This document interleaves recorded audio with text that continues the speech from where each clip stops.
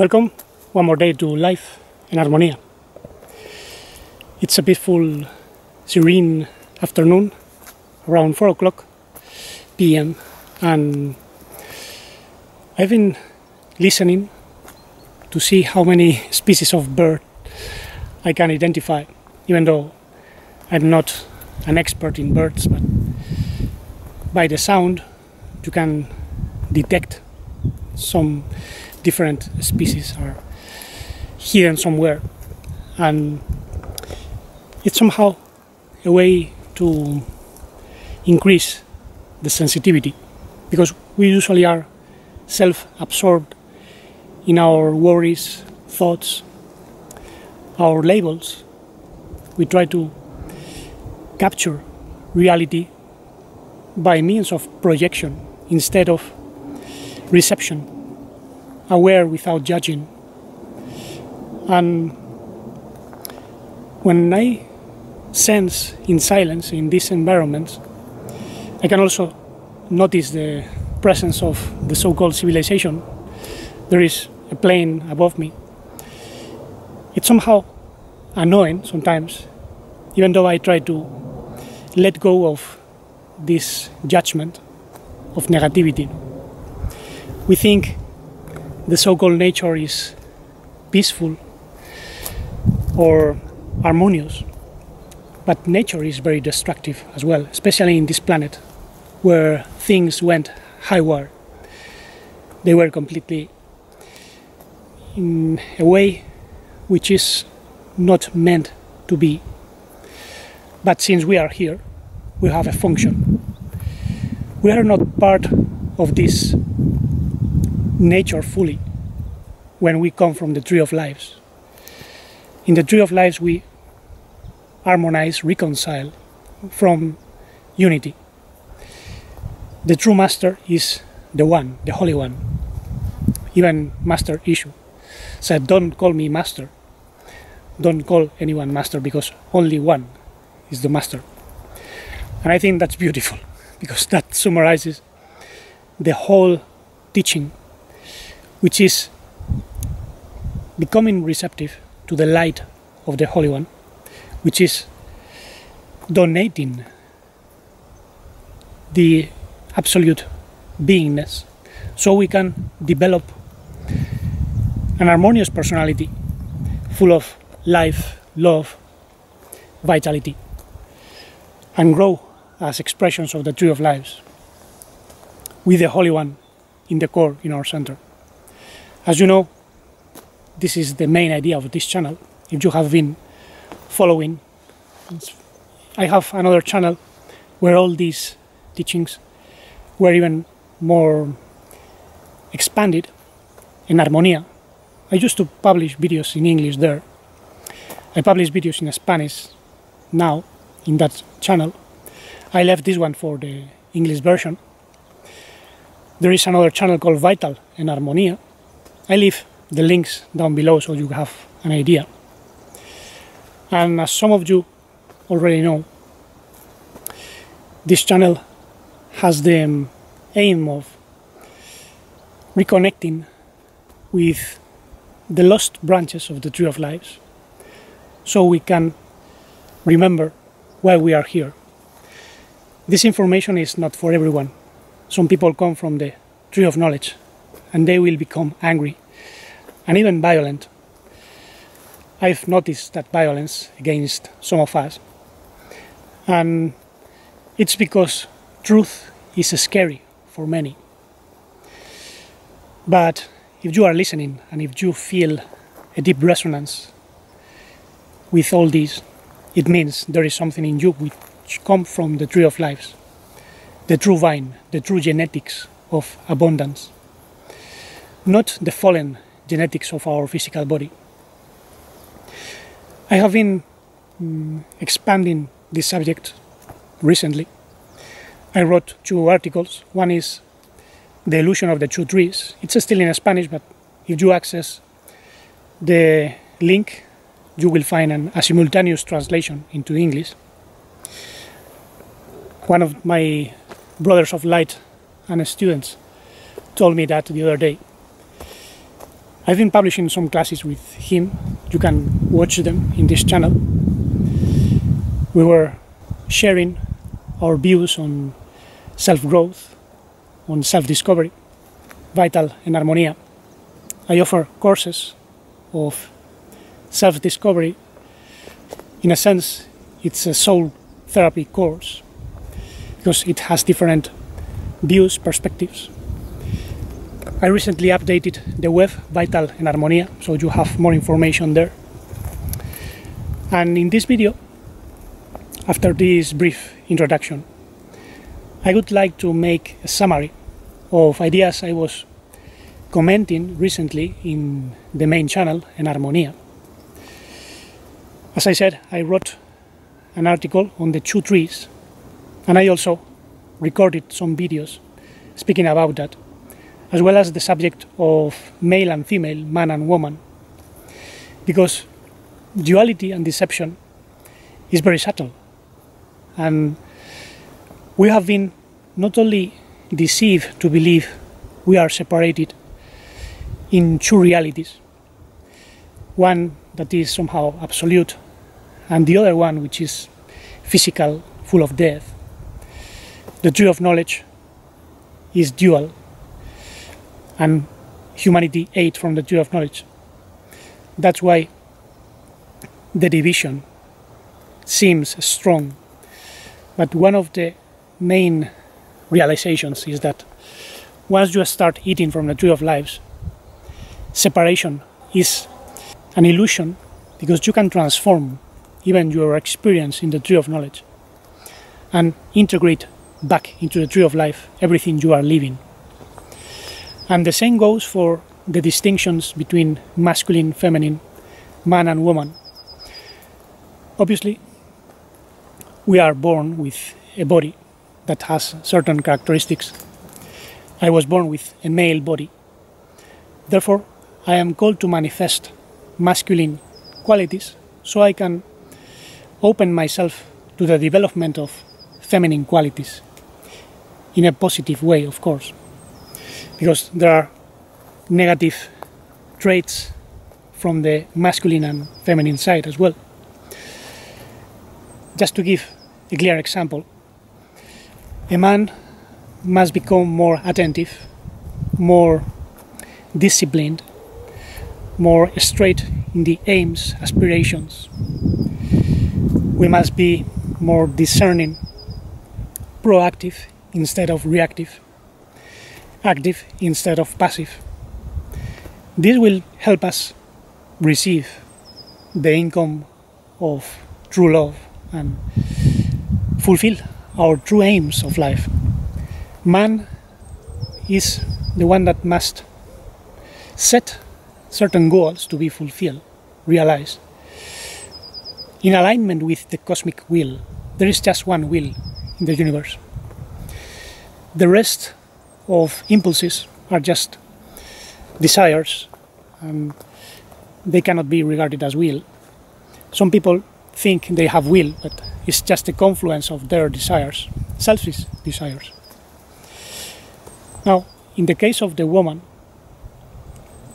she must respect her divine femininity, femininity, and that holy femininity is basically receptivity, sensitivity, beauty, gestation, nutrition, care, compassion, the qualities of love, basically. Even though attention from the masculine side is also an aspect of love, you cannot have true love unless you have the ability to focus. Now, in the case of the woman, there is a more expanded awareness, which obviously leads to the development of that other side, the masculine side, because she becomes more attentive, more discerning.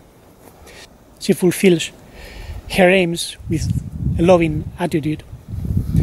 And this increases her beauty.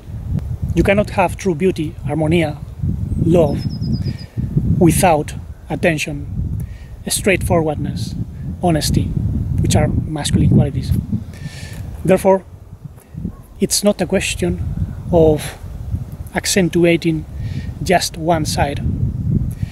Man and woman, masculine and feminine, are like the trough and valley of a wave. Together, they have an immense force. They are the expression of the primordial unity, the one that reconciles all the opposites.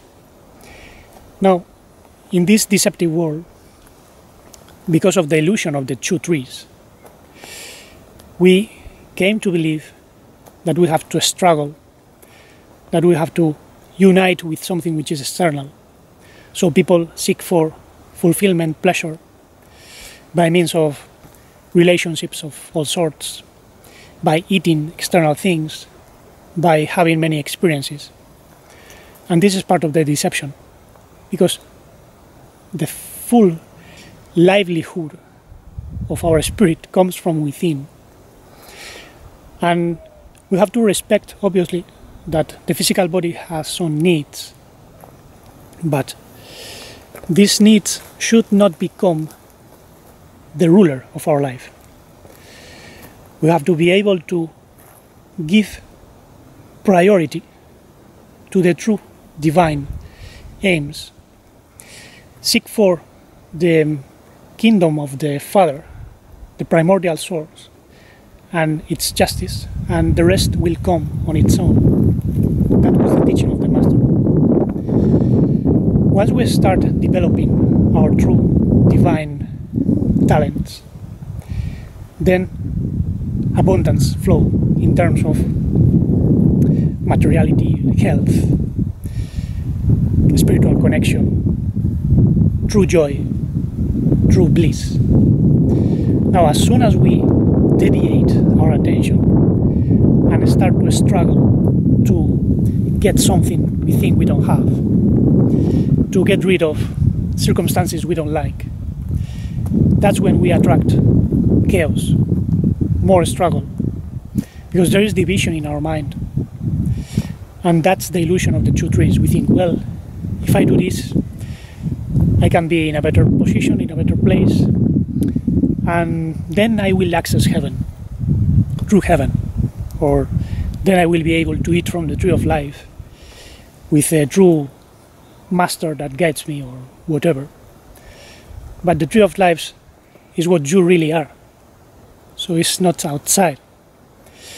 And while I was researching about the um, idea of the two trees, I noticed it something very interesting.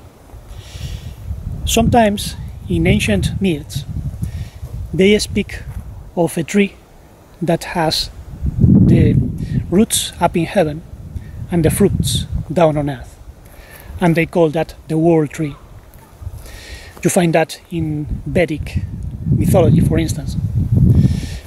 Some even say that the Buddha, the awakened one, meditated on the Bodhi tree, symbolized by a fig tree, and he reached enlightenment there. A tree which has the roots up in heaven. Now, in other mythologies, the roots are down on the underworld, like in the Kalevala, in the Scandinavian mythology. And in that mythology there are nine worlds. Some for the gods some for humans some for the little people for fallen elves and so on. And all this obviously is speaking about the different degrees of reality. But those mythologies miss the point of true reality which in a sense not only has roots up in heaven, it has roots up in heaven and down on earth. So it's a full circle. And I think the best symbol to represent this is the Celtic tree of life, which I use, by the way, for my main channel En Armonia. I love that symbol. I fell in love with it. You can interpret it in different ways, of course, you might think of it as a recycle process where the roots meet the top and the top become roots. But obviously, we can also think of this Celtic tree as an expression of the fullness, the tree of lives in which we receive blissfulness and true conscience, intelligence, loving intelligence from the roots up in the absolute heaven, which is not really up, is everywhere when you enter the tree of life. And then you can also develop roots on your earthly experience. Because if we just come from an absolute heaven as pure light beings, then we cannot develop a soul full of understanding. We might have a lot of wisdom and certain loving impulses, but unless we have experiences, we cannot see the details. We see the forest, but we cannot see the beauty of the trees, their species. The beauty of crossing darkness and overcoming pain, suffering, deception. There is a tremendous beauty in all that. And once you overcome something, you can look back and tears come from your eyes because you realize there is something else in you. That is the soul.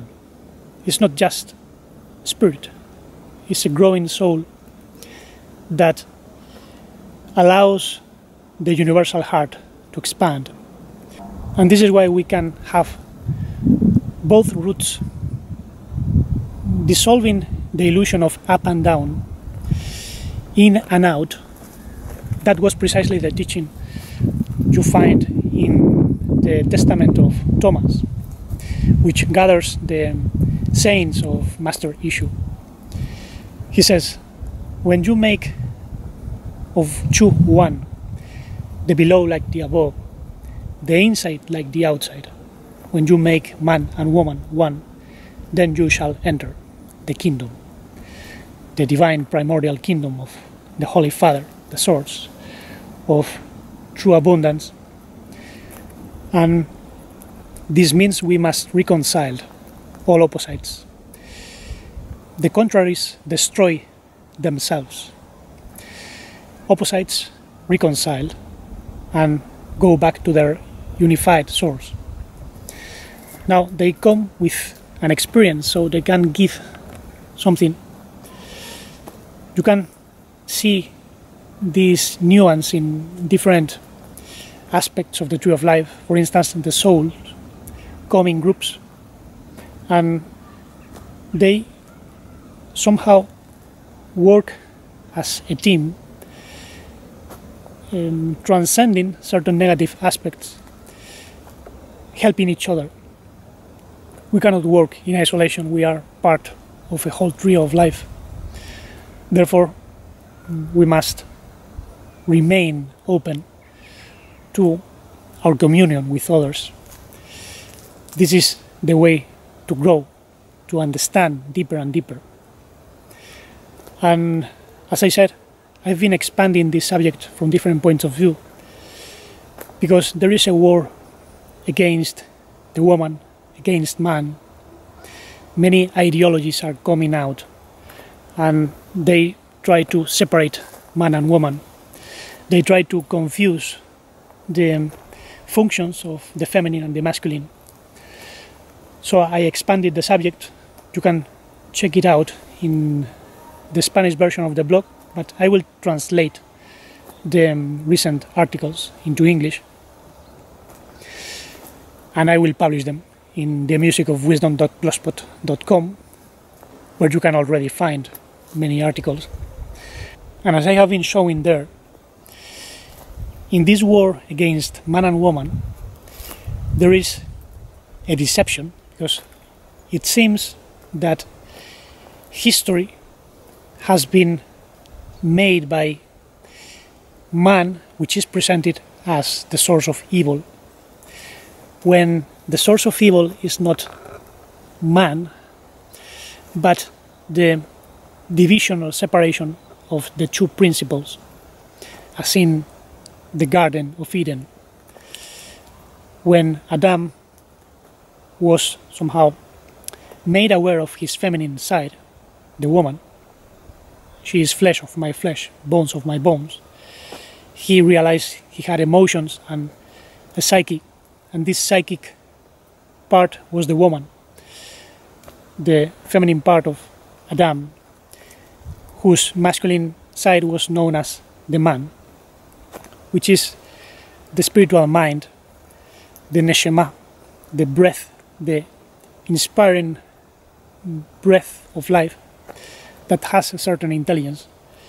But in the story, the woman got seduced by the impulses from the serpent, Nahash, which represents not just passional instincts from the physical reality, but also certain entities that want to feed on the human soul and want to use the human soul as a vehicle for reproducing their fallen energies.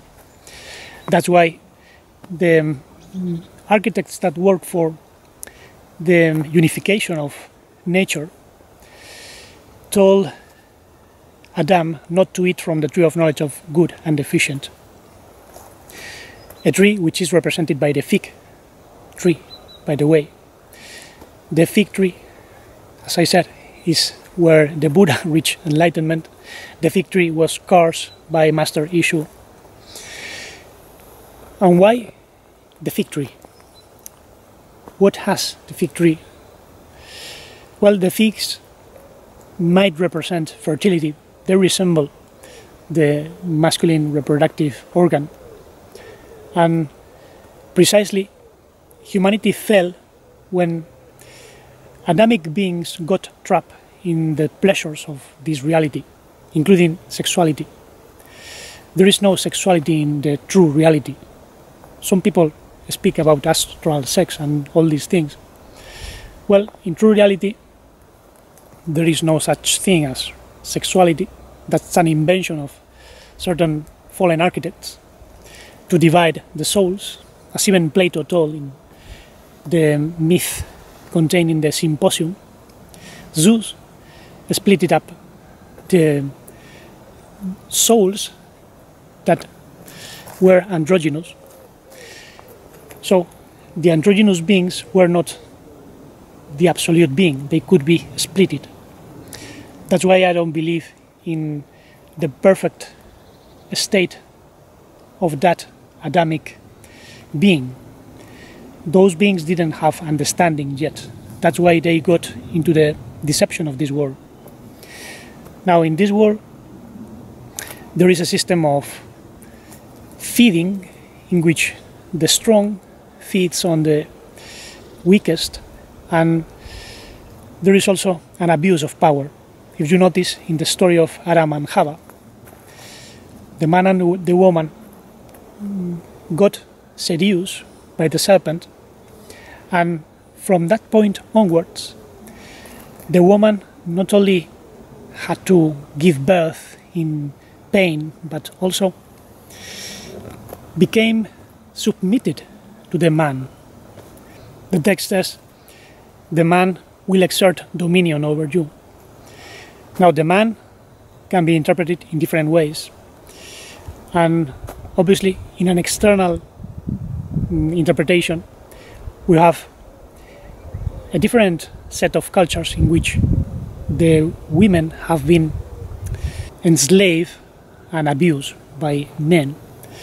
And this led to the idea that the man is dominating, that the man is bad. But I think that belongs to the deception of the serpent, because the man and the woman are the same being, they are the spirit and the soul, which have been separated by foreign alien elements which split up and they bring separation or lust for each other, for instance. However, you cannot feel the sense of incompleteness when you find the opposite inside. You might recognize yourself in the other, but you don't try to dominate the other because it's you. So the fall is because of the illusion of separation, the illusion of this world. Remember how the woman saw this world good for taste, for the eye, and to get wisdom, Sophia. And as Proverbs 9 says, wisdom, Sophia, built up her own house, killed her own victims, set her table, mixed her wine, her genetics. So that's Sophia, or wisdom, was the intelligence some architects had, and they originally worked for the universal unification process, the Yud He But obviously they fell and became just Elohim without the unificating nature represented by Yud He So there you find the distinction between unifying architects or beings and beings that become entities because they lose their primordial nature. So there you find the distinction between beings that work for the unificating process and entities that lost their true primordial life and became just separated entities. I don't call them beings because in order to be, you must have something authentic, not artificial, like the tree of knowledge of good and deficient. In the tree of lives, everything is full, there is no division between masculine and feminine. Both principles are reconciled as part of an original unity or unicity, because unicity is the oneness of elements, the armonia, which vibrates in tune with the primordial one. Therefore, we have to sense that one by means of realizing its qualities. The qualities are known as Elohim, but unifying qualities are what define harmonia. The qualities of separation, contradiction, destruction are fallen Elohim, fallen powers we can distinguish between power and force. We look for will force, not will power. Therefore, those are the main ideas that I was developing in the other channel. As I said, I will be translating the three articles into English, even though you can already access the Spanish version and get the simultaneous translation. Meanwhile, thank you very much for listening with attention. If you are interested in personal consultations on how to fulfill your true mission in life and you even wish to get engaged in some of the courses I offer, you have more information in Vital en Armonia. And meanwhile, let's keep harmonizing our mind, heart, and body, cleaning the house so we can work in harmonia with our true master, our true steward of the house, the subdelegate steward, and all the servants inside, so we can fulfill our true aim in life and express the love without limits, life without fragmentation, integral conscience, and deep, blissful serenity.